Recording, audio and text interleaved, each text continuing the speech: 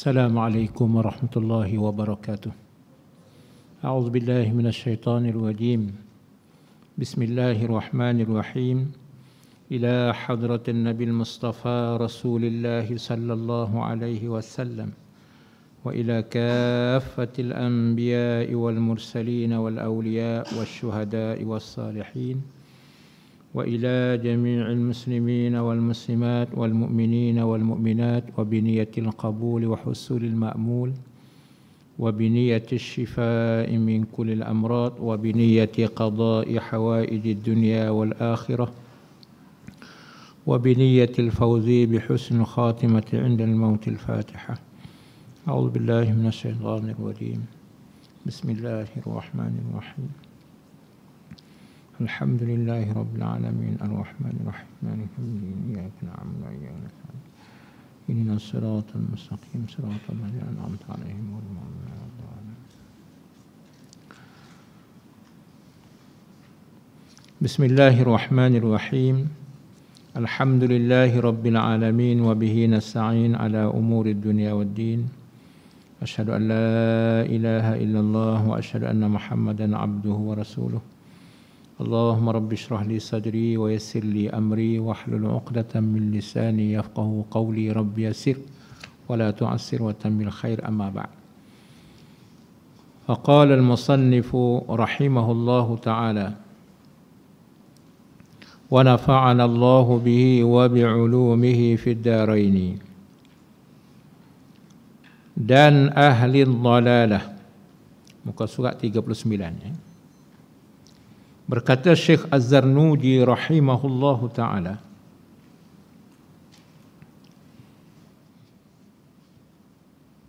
Dan ahli dhalalah yaitu yaitu ahli dhalalah mereka yang sesat ha, mereka di sini dia ulang dua kali ya. sebenarnya mereka ni sekali ya bahasa kita. Ha, ya kalau kita bercakap mereka ni tak perlu kita ulang dua kali sekali ya kita kadang-kadang tersasu dah kerana biasa. Mereka mereka tak perlu. Mereka tu ramai dah. Tak perlu ulang dua kali. Mereka mereka tak. Sekali ya, ha, ya? kalau ulang dua kali pun tak sakit perut. Ha, ha, boleh baca tak salah ya? Dan iaitu mereka mereka yang sesat. Ha, kan dua itu baca dua lah ahli dalalah iaitu mereka yang sesat hairan. Mana tercengang-cengang. Hairan itu makna terpinga-pinga. Mereka itu ahli dalalah golongan sesat. Dan tercengang mereka itu terpinga-pinga mereka itu dengan pandangan mereka itu mereka itu ahli dalalah ahli sesat. Hmm. Jadi kita bincang baru ni ahli ahli sunnah wal jamaah iaitu ahli haq ahli yang benar. Ha, bila mana sebut ahli haq maksudnya ahli sunnah wal jamaah. Bila mana sebut ahli dalalah lain daripada ahli sunnah wal jamaah dalal sesat. Jadi mereka golongan sesat ni mereka yang terpinga-pinga mereka yang kebengongan. Ha, tak tahu mana betul mana salah akhir sekali ikut yang salah sesat dan akal mereka itu mereka itu ahli dalalah menuntuti mereka itu ahli dalalah akan sebenar daripada makhluk yang lemah. Ha, golongan sesak, dia cari benda benar tapi bergantung dengan makhluk. Ha, duk cari dengan makhluk sedangkan makhluk-makhluk ni lemah. Kita lemah. Mana dalil kata lemah? Sampah masuk dalam mata kita. Tak boleh buang sendiri. Buka depan cermin kita nak ambil, kita yang pejam. Kita yang nak ambil. Tak jadi ambil. Sampah di situ. Habis itu, Kena orang lain tolong bantu. Kena buka mata. Orang lain tolong cungkirkan buat sampah. Walah sampah apalah sangat. Tapi dah kerana kita tu lemah. Ha, kita sampah baru benda, belum benda besar lagi. Hmm, jadi buat apa kita nak minta dengan makhluk? Jikalau makhluk tu kita panggil manusia. Kalau makhluk tu tunggu kayu, lagi tak berguna. Dia pergi minta dengan tunggu kayu. Tunggu kayu. Batu, kayu. Dia sendiri pun tak boleh bergerak. Macam mana dia nak tolong orang? Ha, jadi ada golongan-golongan syirik seumpama ini meminta pertolongan dan bantuan daripada makhluk-makhluk Allah. Ha, sebab itu mereka itu dipanggil ahlul dhalalah, golongan-golongan yang sesat. Dan iaitu iaitu ahli dhalalah ataupun makhluk itu. Ha, tu, ha, iaitu di situ masuk makhluk bukan ahli dhalalah. Ha? Iaitu makhluk. Apa yang dimaksud dengan makhluk di sini? Akal, iaitu pikiran kita. Ha, logik akal kita. Kerana bahawasanya akal itu tiada mendapat ia ia akan akan sekalian perkara-perkara seperti mata tiada nampak ia ia mata akan sekalian perkara-perkara. Ha, kalau manusia duk fikir, duk kira fikir lagi akal. Bila mana kita kata benda benar? Umpama kita kata apa? Rukuk iman ada enam. Pertama sekali kita percaya kepada Allah. Allah ni tak boleh tengok. Akal kata kalau benda tu ada boleh tengok. Tapi orang Islam kata Allah itu ada. Tapi orang kafir kata tunjuk pada kami mana Tuhan kamu yang kamu panggil Allah itu. Tak boleh tunjuk. Kita kata Allah ni antara perkara yang gaib. Maknanya perkara yang tidak boleh kita tengok dengan mata kepala kita. Hanya sekadar perlu kita yakin dan percaya dengan hati kita wujudnya Tuhan. Jadi golongan yang berpegang pada akal. Mana boleh kata dia. Kalau kita nak pegang kata ada, mesti boleh tengok. Jadi oleh kerana Tuhan tu tak boleh tengok, maknanya Tuhan ni tak ada. Ha, dia kata begitu. Sesat lah. Sedangkan Allah Ta'ala buat makhluk sendiri pun bukan Allah lagi. Makhluk pun banyak benda yang kita sendiri pun tak nampak. Adakah dengan sebab kita tidak nampak kemudian kita nak napikan wujudnya benda itu? Umpama elektrik. Elektrik Tuhan buat makhluk. Adakah kita nampak elektrik? Tak nampak. Adakah kita nak kata elektrik tak ada? Macam mana tak ada? Sebab kesan dia tu nampak ada. Letak dekat lapu, cerah lapu. Letak dekat kipas, musim kipas. Letak dekat pembesar suara, dengar suara raung-raung. Tapi elektrik itu sendiri itu benda macam mana? Tak tahu. Kita buka wayar semua sekali, tengok tak nampak. Nampak tu wayar. Tapi adakah kita kata tak ada? Ha, kalau awak kata tak ada, cuba awak pegang dekat elektrik, saya pasang sui. Ha, kering macam tikus. Ya? Ha, ha, jadi cicak kering tersepit dekat pintu. Ha, pegang punya apa ni wire elektrik tu kita buka pasang sui. Uh, apa mana elektrik tak nampak tapi bergegar tu. Ha, maknanya ada. Tapi tak nampak. Ha, bermakna makhluk Tuhan pun ada sebahagian yang Tuhan buat sengaja Tuhan tak bagi kita nampak. Tapi makhluk tu ada. Dah kalau makhluk yang kita tak nampak pun kita boleh mengiyakan ada apatah lagi Allah Taala. Tuhan yang mencipta. Kalau kita kata boleh tengok sebagaimana kita, ada bertempat atas ke bawah bermakna serupa dengan kita baru tak layak jadi Tuhan. Jadi golongan yang berpegang pada akal sebab itu mereka sesat. Sebab itu orang barat, orang Eropah, walaupun dia tu 10 profesor, tapi kafir dia. Kenapa? Kerana dia tak percaya pada Tuhan. Kemudian ada setengah tu bukan dia tak percaya pada Tuhan, tapi dia takut tambah pula sifat-sifat yang lemah pada Tuhan. Ha, nampak tak? Walha kalau kita kira, dia belajar tu dari sudut CJ tu, siapa kau profesor? Bijak. Tapi sesat. Kenapa? Kerana dia berpegang kepada makhluk yang lemah, iaitu akal semata-mata. Ha, sebab tu kalau kita duduk pegang dengan akal kita, akal saya bijak, Ustaz. akal saya sesat. Orang tu akan sesat. Tunggu je, lambat cepat. Ha, kenapa? Kerana akal lemah. Dengan sebab lemah, dia akan terdedah kepada lemah juga iaitu terdedah kepada sesat. Ha naudzubillah. Sebab tu kita diminta belajar. Sebab apa kita orang Islam tak sesat? Sebab kita berpegang kepada wahyu Allah. Ha wahyu. Ha, berpegang daripada sumber daripada Allah itu sendiri. Ha, sebab itu kita tak sesat. Kalau kita tidak berpegang dengan sumber wahyu, Quran dan hadis, serupa kita dengan orang lain. Sesat barat juga. Ha, tu dia. Sebab benda gaib ni benda tak nampak dengan mata kasar kita. Allah tak nampak, malaikat tak nampak, dosa pahala tak nampak, syurga neraka tak nampak. Malaikat kiri kanan kita tak nampak, hantu jin syaitan kita tak nampak. Semua tu ada. Ha, macam mana? Nak tengok, nak tengok pun cerahlah mata setara mana pun kita besar dah dengan kanta pun besar setara mana pun tak nampak. Sedangkan malaikat contoh kita malam ni. Malaikat ni ramai ni. Boleh jadi puluh-puluh ribu bersama dengan kita ni. Walaupun jemaah kita tak ramai mana. Ha, ha jemaah kita, kita lah. Tapi malaikat Tuhan ni ramai. Tapi ada awak nampak malaikat duduk sekeliling kita? Tak nampak. Ha, sebab apa? Sebab dia ni antara perkara-perkara yang raib, perkara yang tak nampak di, di mata kita, cuma perlu kita yakin percaya. Ada. Ha, benda tu ada.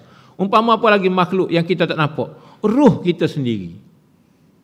Ha, siapa pernah tengok ruh dia sendiri? Tak pernah tengok. Tapi adakah kita nak kata kita tak ada ruh? Macam mana kalau tak ada ruh kita nak hidup? Kalau ruh tercabut, matilah kita. Nah, orang tak panggil orang dah. Orang panggil orang mati. Orang juga tapi mati. Kenapa panggil mati? Sebab ruh dia tak ada. Habis tu, ruh tu pergi ke mana? Tak tahu. Tuhan ambil melalui malaikat ni bawa ke mana tak tahu. Bila mana dikembalikan roh masuk ke dalam jasad, ha, hidup kembali mah manusia. Bila tu? Setelah dikebumikan dalam kubur. Dikembalikan roh kita. Kenapa? Nak interview pula. Malaikat nak interview kita. Ah, Tuhan akan tanya pula melalui malaikat disuruhannya. Marabbuka. Siapa Tuhan kamu? Ha. Jadi kalau orang mati, orang mati tanya buat apa sebab dia mati dah. Bermakna tanya tu orang hidup. Ha. Kalau kita tanya orang mati, dia kalau fikir akal. Boleh terima dok tanya orang mati. Lepas tu dia dia, dia boleh dia boleh jawab, tak boleh jawab. Habis tu yang jawab tu roh dia lah. Ha, hidup macam kita balik, masuk dalam kubur. Ha, ha, mati dah aku. Ha. Ha. Jadi roh ada. Nampak? Tak nampak.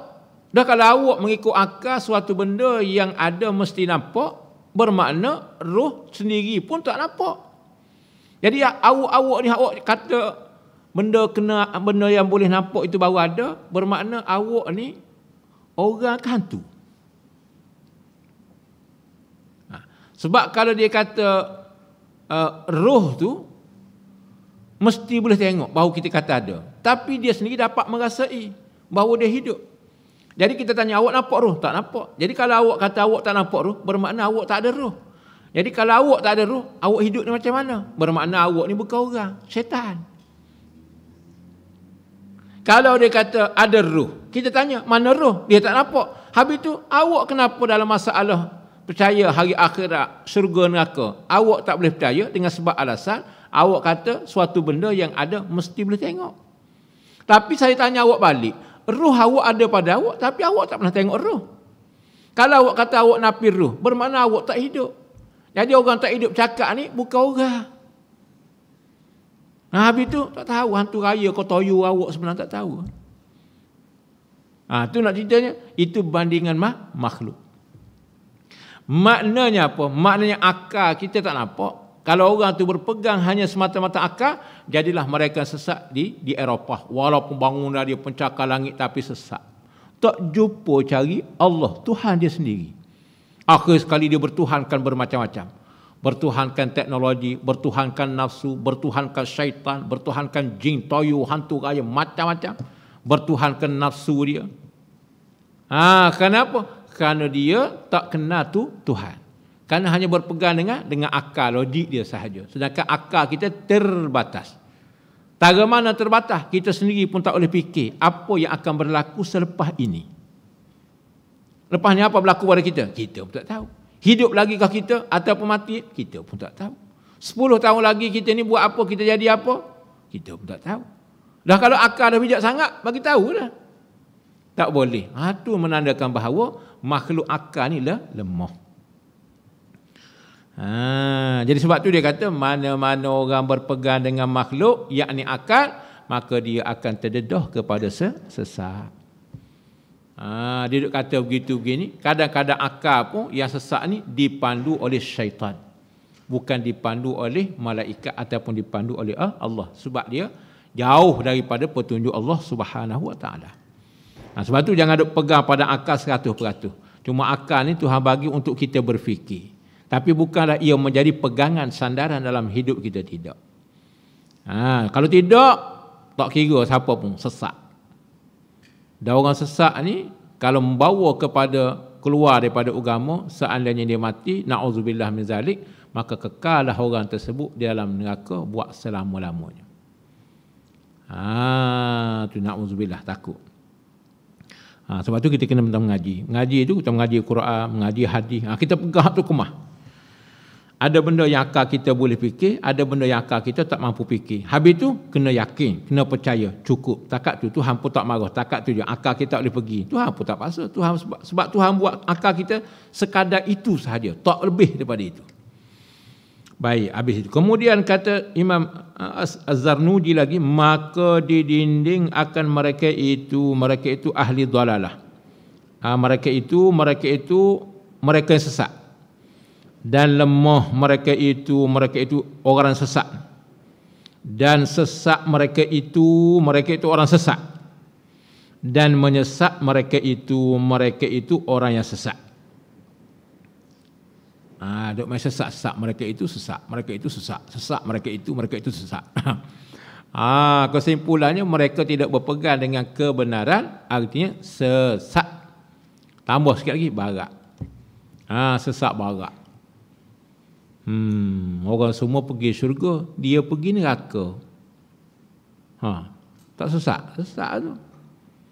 Ha, jadi selain daripada orang yang benar, orang Islam, ahli sunnah wal jamaah, lain daripada itu sesat ha, naudzubillah min zalik ha, boleh ya ha, jadi makna kita ni pegang dengan petunjuk Tuhan doa banyak dengan Tuhan ha? baik kemudian berkata musannif rahimahullah taala lagi sabda Rasulullah sallallahu alaihi wasallam ha, tulis bagi itu man arafa nafsahu Man arafa nafsahu faqad arafa rabbahu. Man arafa nafsahu faqad arafa rabbahu. Ha, hapa ni pendek itu ya. Ha, ikut ustaz sama-sama. Man arafa nafsahu faqad arafa rabbahu man arafa nafsahu faqad arafa rabbahu Nah, sekali lagi man arafa nafsahu faqad arafa rabbahu hmm tengok mana dia. Artinya siapa-siapa yang kenal ia Siapa-siapa. Ha, Ini bahasa lama lah. Siapa-siapa ni barang siapa? Sesiapa sahaja. Ha, Kenal ia Ia siapa-siapa? Barang siapa tadi? Akan dirinya Diri siapa-siapa Maka sungguhnya kenal ia Ia siapa-siapa akan Tuhannya Tuhan siapa-siapa. Ha, seronok ngaji kita jauh ni. Ha, tu dia. Ha, tu dia. Baik. Ha, siapa-siapa yang kena ia ia siapa-siapa akan dirinya diri siapa-siapa maka sungguhnya kenal ia ia siapa-siapa akan Tuhannya Tuhan siapa-siapa. Ha. Siapa kenal diri dia? Ha, kenali dia apa? Diri dia lemah, diri dia susah, diri dia berhajat, diri dia miskin. Maka dia akan kenal tuannya. Tuannya ni Tuhan yang maha kuasa, maha kaya, maha hebat. Ha. Tu Tuhan tu maha hebat belaka. Maha sempurna. Kita ni maha lemah belaka. Ha, kenal tu. Jadi sebab tu kalau orang kenal sebenar-benar kenal diri dia, confirm dia akan kenal Tuhan. Jadi hari ini kita nak belajar ni biar kita kenal diri. supaya kita tidak sombong, tidak angkuh, tidak takabur. Mereka yang sombong dan angkuh itu hakikat sebenar-benarnya mereka tidak mengenal diri mereka sendiri. Walaupun mereka nampak petah bercakap bijak. Kita kata begitu, dia kata begini. Kita kata begini, dia kata begitu. Begitu, begini, begitu, begini. Tak habis dia. Tapi sudahnya ajak beriman, tak mahu juga. Ah, tak kenal diri itu.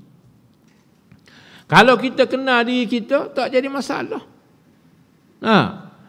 Tak kenal, kita nak kenal, tak apa. Isunya, kita dah lah tak kenal. Ada orang, dia tak kenal. Kita nak perkenalkan pada dia, dia tak mahu pula untuk kita bagi tahu siapa tuan dia. Siapa diri awak sebenarnya. Dia tak mahu. Ada juga. Ada orang tu kita perkenalkan dia, tapi dia ego. Sombong, tak kabur. Alah. dia main Allah akhir sekali kafir dia ha naudzubillah min zalik ha, jadi bila mana kita kenal diri kita maka kita akan kenal Allah ha, Tuhan kita siapa ha, sebab tu kita kena belajar kenal diri kenal Allah bila mana kita kenal Tuhan kita maka kita kenal siapa kita ha, sebab tu kita kenal diri kita siapa sebab tu kalau kita kenal diri tak timbul isu deki dengan orang. Tak timbul isu kita sombong pada orang. Tak timbul isu kita nak pelekeh orang. Nak peleceh orang. Nak merendah-rendahkan orang. Nak benci orang. Tak puas hati dengan orang. Kecewa dengan orang. Tak ada. Kenapa? Kerana semua itu dalam peraturan Tuhan. Semua itu dalam perancangan Tuhan. Dan kalau Tuhan buat begitu sebagai ujian untuk kita. Apa yang kita boleh ambil? Sifat buruk dia tu aku tak nak ambil. Ah, patut kita belajar begitu. Bukan mana kita tahu sifat buruk dia kita pun benci memanjang. Tak. Yang positif maksudnya kita nampak sifat buruk maka sifat buruk itu jangan dipakai pada kita. Sifat buruk yang ada pada kita mesti dibuang. Sebagaimana kita nampak orang sifat buruk kita benci, sama juga kalau kita sifat buruk orang pun benci. Ha, nampak tak? Ha, tengok orang cerdik. Ini tidak, dia marah pada orang. Kadang-kadang marah dia pula melampau-lampau. Akhir sekali dia benci pada satu orang, orang ramai pula makin benci kepada diri dia. Kenapa? Kerana melampaunya. Ha, tengok tak kenal diri dia. Ha, kita kedekut. Buat apa kita kedekut? Sebab kedekut ni Allah benci. Makhluk benci. Dah habis tu buat apa kita sifat kedekut? Kita iri hati dengan orang. Pasal apa nak iri hati dengan orang? Sebab dia dapat sekian-sekian. Eh kita nak tanya. Yang beri pada dia tu siapa? Kamu siapa? Orang yang kamu nampak tu siapa? Okey baik. Kalau awak faham. Dia makhluk Tuhan. Kita makhluk Tuhan. Yang memberi kepadanya tu Tuhan. Habis itu dah Tuhan beri pada dia. Jadi kenapa kau marah dekat dia? Bukan dia yang mengadakan sendiri. Tuhan yang beri. Dan kalau Tuhan yang beri kamu tak puas hati dengan dia, hakikat bukan tak puas hati dengan dia. Sebenarnya kamu tak puas hati dengan Tuhan. Ha, tu tak betul tu. Habis tu bagaimana? Ya, memang Tuhan buat belaka, kita kena faham. Maksudnya ada pun sifat yang buruk yang yang tak baik itu Tuhan suruh kita benci. Benci siapa? Benci pada sifat itu, bukan benci pada zat orang yang bersifat dengan sifat itu. Benci perbuatan dia, bukan benci jasad dia. Perangai dia tu yang kita benci. Ha, jangan kita benci dengan dia dengan perangai-perangai dia pun dengan dia dia sekali pun kita kira akak borong. Wah, tak suka pula kita. Ha, masuk ala raga semua sekali kita capuk ala, ala gaun semua sekali dengan orang-orang. Ha, tak, tak, tak, tak. Baiki sifatnya. Ha, kita benci itu sifat dia. Kita benci itu kerana Tuhan suruh kita benci. Ha, itu tak apa. Boleh. Ha, itu maknanya kita kena kenal diri kita. Jadi bukan kita dia kena kenal. Awak pun kena kenal diri awak juga. Jadi kalau saya seorang kenal diri awak tak kenal diri, masalah juga. Nah, jadi kita nak buang masalah-masalah ini, artinya semua makhluk mukallaf mesti mengenal dirinya dan juga mengenal Tuhan. Allah kenal diri, kenal Tuhan, kita rasa malu. Ma, malu. Tuhan ni nampak 24 jam, perhati kita. Nah. Awak duduk mana Tuhan perhati belakang? Bayangkan kita ni rasa Tuhan duk perhati kita. CCTV dah ada kat kita sentiasa. Eh, kita tak buat yang bukan-bukan. Pasal malu lah. Ada kita berani buat depan ustaz kita benda yang tak sepatut kita buat? Tak buat. Habis tu kita nak buat tu, tak ada orang. Kononnya kita kata, tak ada orang tu, tak adalah orang yang memantau, memandang kita, memelihat kita. Tak. Tuhan duk pandang, duk perhati kita dalam gelap sekalipun. Tuhan duk perhati nampak. Sebab Tuhan ni tidak terhijab. Dalam gelap ke, dalam cerah ke, ramai ke, seorang ke, dalam bukit, dalam tanah, dalam laut. Tuhan tahu semua. Ada kalau kita tu rasa begitu, ai, maka jadilah kita hamba yang baik. Kalau tersalah, cepat kita kembali kepada Allah dengan cara kita bertaubat kepada Allah. Ah, tu dia panggil orang yang kenal tu Tuhan. Ah, bila mana kenal ni mudah. Tuhan panggil, mari. Ah, kita pun kenal. Ah, ni Tuhan panggil ni. Ah, kita pergi. Ah, macam ustaz kita lah. Ustaz kita kita kenal ustaz kita. Kenal suara dia, kenal tapak kaki dia berjalan. Ustaz kita panggil jauh walaupun orang ramai tak. Orang dia suruh orang lain panggil. Kawan-kawan kita. Ha, ustaz kita suruh panggil kita. Ha, suruh apa ni melaungkan nama kita. Ha, kawan kita pun panggil nama kita. Nama apa ni suara kawan kita tak sama dengan suara ustaz kita. Ha, kadang-kadang kita dengar kawan kita panggil kita pun acuh tak acuh. Sebab apa sebab kita dengar kawan kita panggil ha, bila mana kita tak bergerak kita pun tak pergi kita pun tak tak, tak peduli maka ustaz sendiri pun panggil nama kita Ah bila mana kita dengar suara ustaz, ah yang panggil ni bukan kawan kita, ustaz ni. Ah ya ya ya ya. Ah baru menyahut. Pasal apa? Pasal kita kenal suara ustaz kita. Tapi kalau kita tak kenal suara ustaz kita, masalah juga. Ah. Ah tak dengar ni ustaz kita panggil begitu tak boleh juga. Sebab apa? Sebab kita tak kenal. Itu suara ustaz kita ke suara siapa? Ah tapi bila mana kita kenal, Walaupun suara ni banyak tapi kita boleh nak detect suara orang ni macam ni, suara orang ni macam ni, macam ni. Jadi oleh kerana kita kenal suara ni, ha, kita tengok orang ni ni panggil ni, ha, adakah perlu kita menyahut ataupun tidak. Ha, jadi begitu. Jadi Allah bila mana kita kenal begitulah. Tuhan panggil kita, Tuhan pujuk kita, Tuhan rayu kita, Allah. Hmm. Nampak tak? Batu Nabi SAW beritahu, seandainya kamu tahu, sebagaimana aku tahu, Ha? la dhahiktum qalilan wa la bakaitum katsiran Nabi SAW bagi tahu seandainya kamu tahu kamu reti kamu faham sebagaimana aku faham nescaya kamu suka sedikit menangis banyak ha, Nabi kata gitu tapi dengan sebab faham kita tahu kita tidak sebagaimana tahunya Nabi maka dengan sebab itulah kita gelak banyak menangis ini sikit-sikit Nabi kata kalau kamu sebenar-benar tahu sebagaimana aku tahu kamu akan sedikit ketawa, kamu akan menangis banyak. Ah. Ha, dan ini sebab kita tak kenal itulah. Kenal sikit-sikit, nak tak hebat lagi. Hmm. Nabinya kenal Allah ni, masya-Allah. Ha, lebih daripada manusia-manusia yang yang lain. Baik, kita pergi sikit lagi. Hmm. Jadi kena kenal diri, kena kenal Allah. Siapa kenal diri dia, Bukan mana kenal diri nama saya Muhammad. Ah, ha, nama saya Muhammad. Ah, Muhammad saya tak kenal diri kita ni siapa? Kita ni makhluk Tuhan. Itu maksudnya. Kenal diri kita lemah, kenal diri kita berhajat, kenal diri kita ni segala-gala kurang. Kita kenal diri kita ni banyak cuai. Ah, tu mana kenal diri kita. Kenal Tuhan, Tuhanlah yang buat kita. Tuhanlah yang mengatur hidup kita. Tuhanlah yang menggunakan segala nikmat-nikmat yang kita ada. Ah, kita pun tahu gitu. Dan Tuhan ni maha sempurna.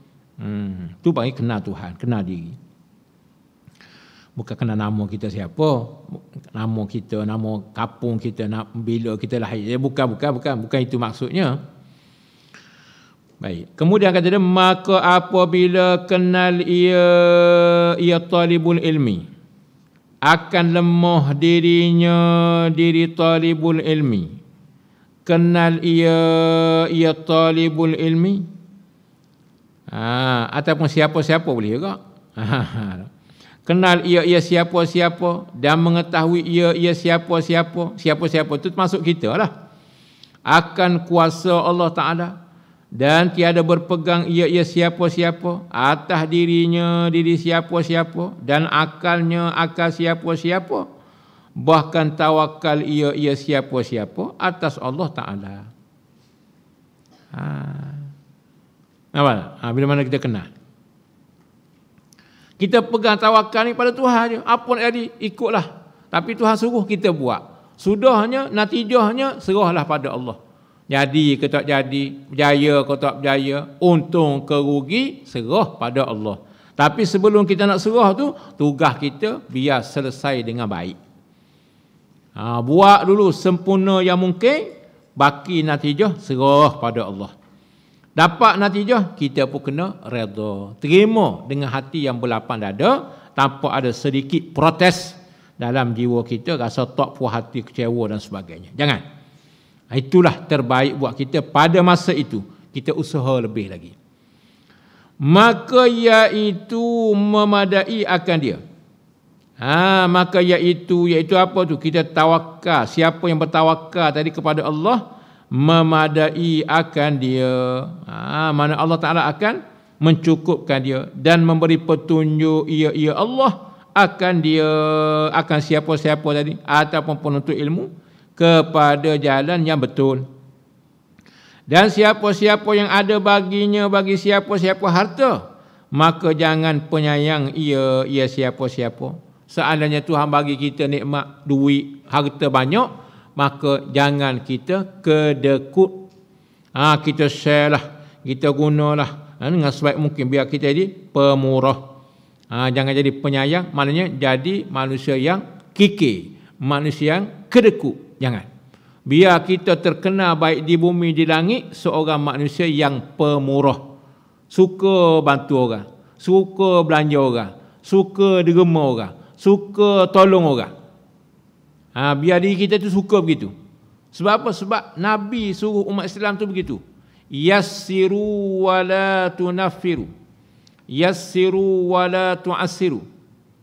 Ha, maknanya permudahkan kamu urusan-urusan orang ni. Jangan kamu nyusah-nyusah ke orang. Ha, ni Islam. Islam ni dia kira nak nak mempermudahkan orang. Ha, ha, apa boleh saya tolong? Apa boleh saya bantu? Ah ha, tu Islam. Bukan mana patut kita boleh bantu ni. Lagi, lagi, lagi ustaz mari, lagi, lagi. Lari pula ustaz mari. Pasal apa dia tahu dah kalau ustaz datang dia suruh kita akak sampah, dia suruh bersih ya tu yang ni. Nampak tak? Ha, kita pun lari. Ha, tak serupa Nabi. Nabi kata permudah kita menyusah. Ha, ha tu dia. Hmm. Oh ada boy. Ha. ha baik. Jadi maknanya jangan jadi seorang yang kiki. Jadilah kita seorang yang derma, dermawan. Dan orang yang derma ni panjang umur, murah rezeki, berkat hidup rumah tangga dia insya-Allah, ya. Kita pergi sekali. Dan saya kira bahawa berlindung ia ia. Siapa-siapa tadi dengan Allah Taala daripada penyayang. Hendaklah dia minta tolong dengan Tuhan supaya Tuhan ni cabut sifat kedekut dia. Ha, biar jangan jadi bakhil. Minta berlindung dengan Allah supaya kita menjadi orang yang pemurah. Jangan jadi seorang yang bakhil. Ha, kita terkenal dengan bakhil. Jangan. Biar kita terkenal dengan ringan tangan. Tangan kita ni suka bantu orang. Biar begitu. Maknanya suka berkhidmat kepada umat. Orang yang suka khidmat kepada umat ini. Insya Allah. Allah Ta'ala akan pulangkan balik khidmat kita yang pada orang itu satu masa orang pula akan khidmat kepada kita. Jangan bimbang. Ha, Nabi kata apa? Kama tadi nutudan. Sebagaimana kita buat pada orang, satu masa nanti itulah juga orang akan buat pada kita. Sebab tu orang jahat kan, dia curi harta orang. Dia ingat seronok dia dapat curi harta orang. Berjaya, tak kena tangkap. Berjaya kata dia. Ha, ha, yang lari sembunyi. Akhir sekali Orang ambil juga barang hak dia curi dengan orang. Dia pula marah. Yang dia duk ambil barang orang. Orang pun pencuri lain curi barang dia pula. Dia marah pada kawan tu kerana curi barang dia.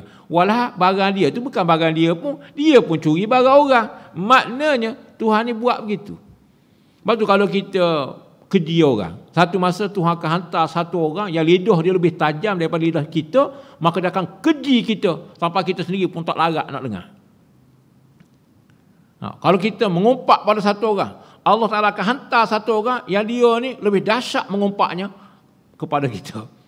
Ha, kalau kita buat jahat pada orang, Tuhan akan hantar satu orang, dia akan buat jahat lebih yang kita buat jahat pada orang. Ha, sebab tu orang jahat tu yang seronok sangat buat jahat pada orang, satu masa ada orang akan buat jahat pada diri dia. Akan buat jahat pada keluarga dia. Seandainya tak ada lah, dia hidup selamat dia daripada jahat orang. Dia je buat jahat pada orang. Jangan lupa dia akan mati. Bila mana mati, masuk kubur, mereka sepak, mereka terajang, mereka luku, siku, kaki, lutut. Ha, dia. Ah, itu dia.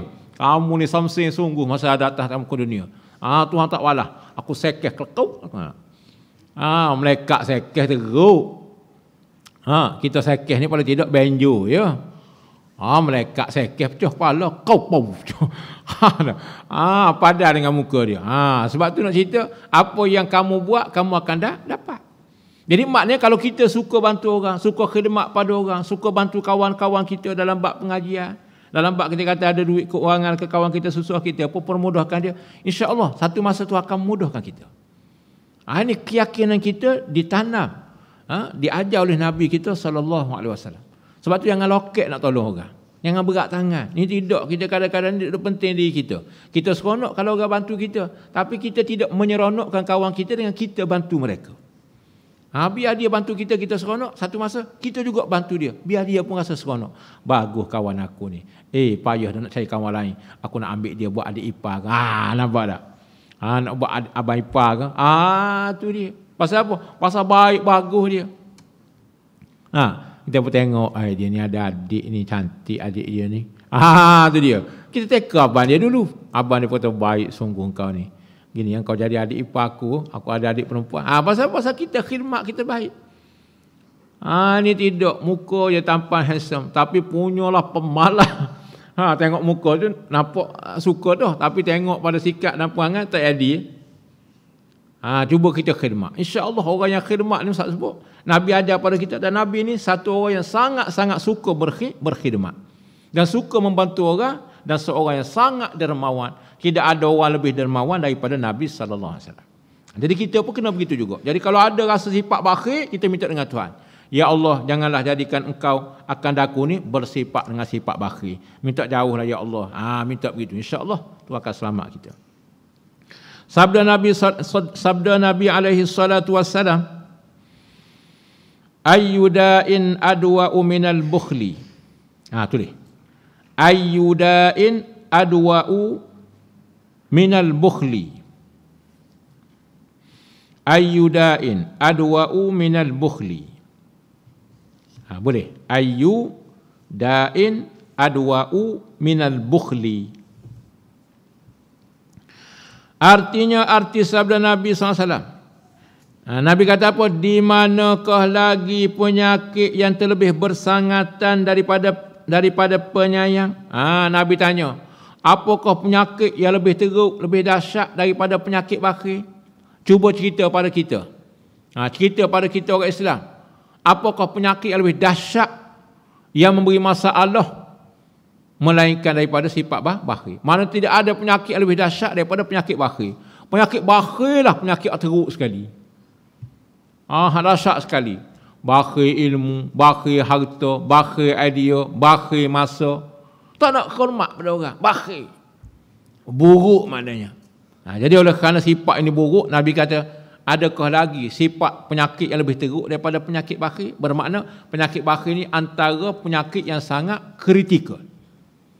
Ha, jadi sebab itu kalau umat Islam ini seorang yang dermawan, semua kita ni dermawan, mudah. Buat madrasah cepat siap. Sebab apa? Sebab pakak derma.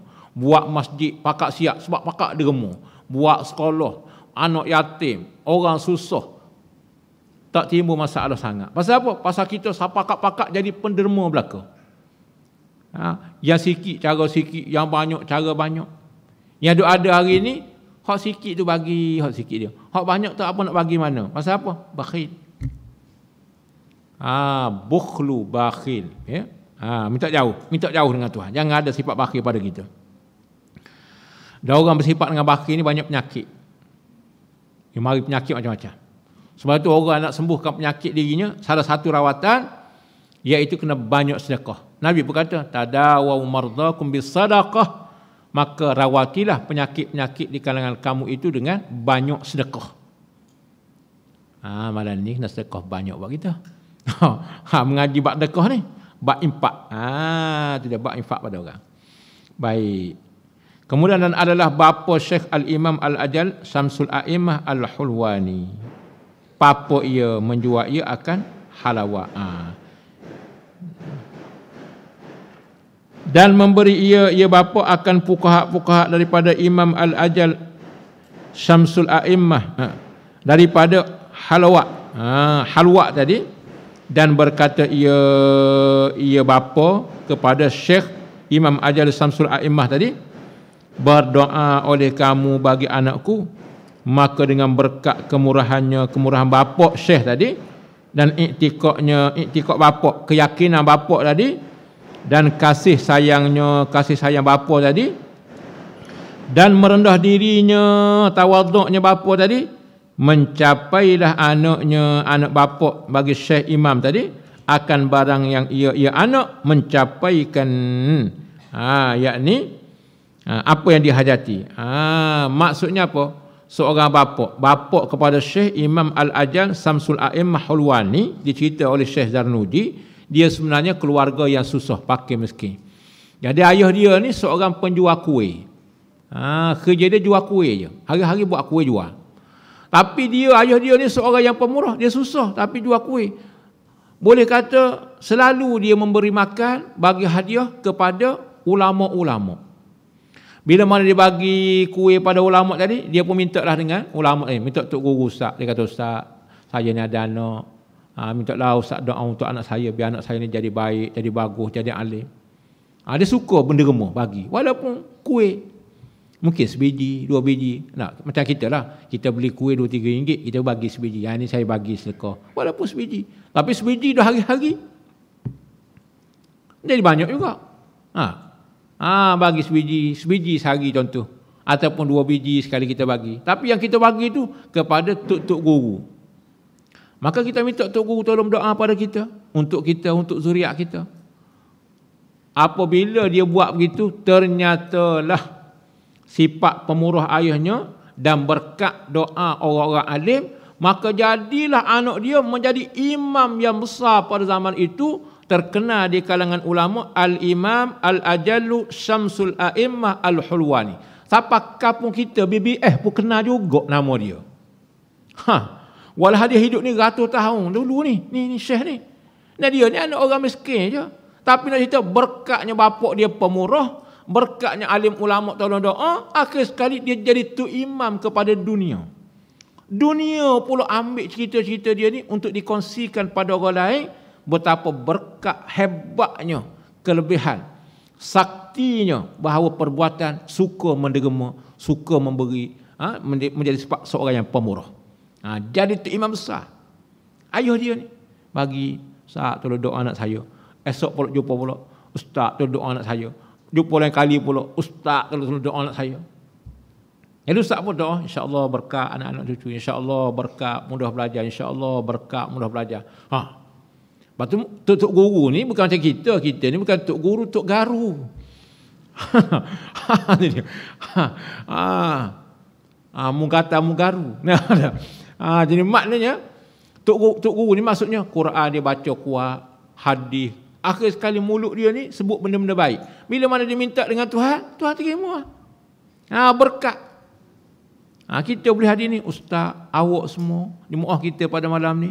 Boleh hadir kita jadi baik ni, boleh jadi berkat mak ayah kita, tok nenek moyang kita, ustaz-ustaz tok-tok kita, ayah kita dahulu mendoakan kepada ayah kita dan anak-anaknya menjadi baik. Maka lahirlah kita, jadilah kita hak ada pada hari ini berkat tok nenek moyang kita, alim ulama kita sebelum kita. Boleh jadi. Ha, jadi kita suka masjid surah ni, boleh jadi mak ayah kita dulu. Mak kita mengandung pergi jumpa ustaz, ustaz minta tolong solat hajat. Ha? ayah ha, saya ni mengandung dah tujuh bulan tak lama nak bersalin ni ha, ayah kita pun cakap gitu ustaz tolong ustaz biar selamat-selamat ni anak saya ni anak sulung anak kedua anak ketiga. Ha, biar lahir dengan molek dengan elok biar jadi budak baik. Jadi ustaz kita pun berdoa lah. Ustaz ayah kita. Ya Allah jadikanlah zuriat pula mi pula ni selamat. Akhir sekali beranak keluar kita. Maka kita jadi baik.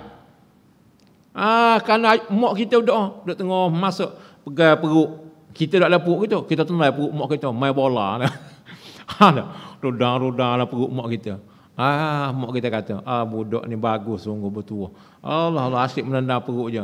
Ah lahir nanti nanti besar nanti keluar ni menjadi anak orang soleh. Ah, jadi orang hafiz, jadi belajar sungguh orang berjaya menyejuk mata hati mak, ah, mama, umi. Beranak kita, jiwa kita pun ah jadi baik. Ah berkat doa tu. Kita tak tahu apa tak? Ha, ni mungkin, mungkin, mungkin. Ha, dan perkara ni berlaku semua. Jadilah kita ni seorang yang suka pada Quran. Suka belajar, suka mengaji, suka kebaikan, suka bantu dan sebagainya. Sebagaimana cerita bapa kepada Al-Syekh Al-Imam Al-Ajallu Samsul A'immah Al-Hulwani. Kemudian dan saya kira pula wallahu subhanahu wa taala a'la wa a'lam. Ha, takat dulu malam ni kita ambil masa sikit pasal ustaz ustaz lewat sikit. Ada hal sikit, kian pula sikit yang jalan. Ah, jadi kita mula lewat kita lanjutkan sedikit. Insya-Allah moga-moga bermanfaat. Wallahu subhanahu wa ta'ala ala ala. Bismillahirrahmanirrahim. Allahumma rzuqna ilman nafi'a wa qalban khashi'a wa yaqinan sadiqa wa amalan salihan mutakabbala wa rizqan wasi'an tayyiban barakan fihi. Rabbana atina fi dunya hasanah wa fil akhirati hasanah wa qina azaban nar. Wa sallallahu ala sayyidina Muhammad wa ala alihi wa sahbihi ajma'in. walhamdulillah rabbil alamin.